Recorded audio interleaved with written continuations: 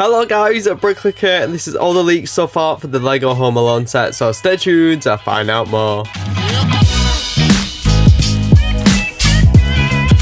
So guys, I hope you're having a great day, and if you do go on to enjoy the video, why not subscribe as well as turn notifications and like the video, but let's get into it. So back in the middle of 2019, the LEGO Ideas Home Alone house was approved to become a real life LEGO set. And now, after months and months, we're finally so close to the product launch. So obviously, when people first saw the Sesame Street set last year, people were worried it would see the same fate and Home Alone would be shrank down significantly. But thanks to our first leak, 21330 being the set number for Home Alone, we knew that this set was going to be $250 and £230, meaning the original house would be pretty much kept similar to the project submission and not shrank down significantly like Sesame Street, which a lot of people were happy about. We also learned that this one will be coming on November 1st, 2021. Then about two weeks ago now, we got our first look at an actual picture of Home Alone in the form of a sticker sheet. So this showed off the sticker sheet with loads of different references, give us a lot of brand new information about the set. The first one being that the plumbing van will be included in the set, which wasn't actually in the original submission, but thanks to these stickers,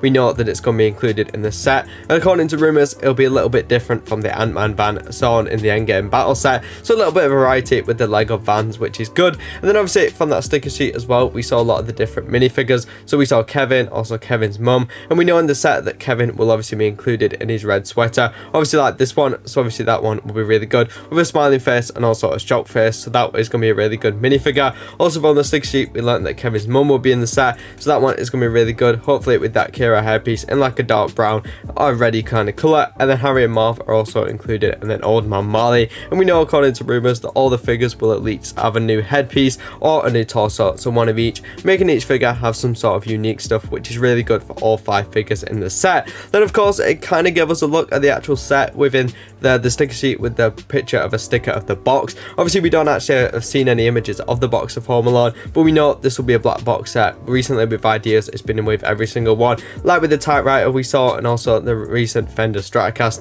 So we can expect, and like from this leak, the Home Alone set will be on that black box design, which I think works really well when you've got them on the shelves together. Obviously on the sticker sheet, we also saw there'll be the Michael Jordan sticker, but with bricks on the torso instead, which is a really cool Easter egg. And obviously, like I say, we haven't seen any official images yet, but like we saw in recent months, we had the Mario question mark block, also the huge Titanic, and even Hogwarts icons about a month ago now. There's a good chance we'll probably see images of this before it is officially revealed, which should be next week. I will guess on Tuesday or Thursday are the usual reveal dates. So less than a week away now till we'll see official images of this. We might only be days away from a leak of this set. Obviously the 6G give us a lot, but what we didn't know is the piece count, and this week we learned it would be 3,955 pieces, making it the biggest LEGO set of all time, and definitely justifying the original submission, making it a big house, and I'm sure with that, all the details are going to be kept within, within the house. We can also see from the sticker sheet that there'll be a kitchen included, also a bathroom, so it's going to be really detailed inside.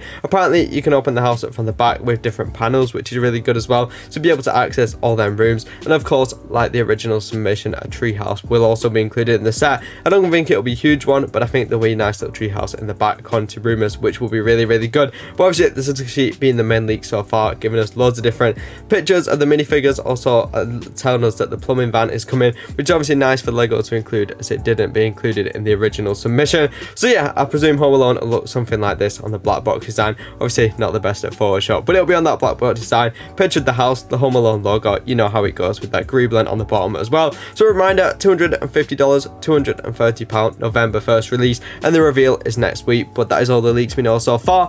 Are you excited for this set? I'm sure you are. Comment down below, like video, subscribe, and turn notifications for more LEGO videos and LEGO news videos. You watch any of the videos on screen now. Remember guys, keep clicking and breaking. I'll see you all later guys. Bye bye.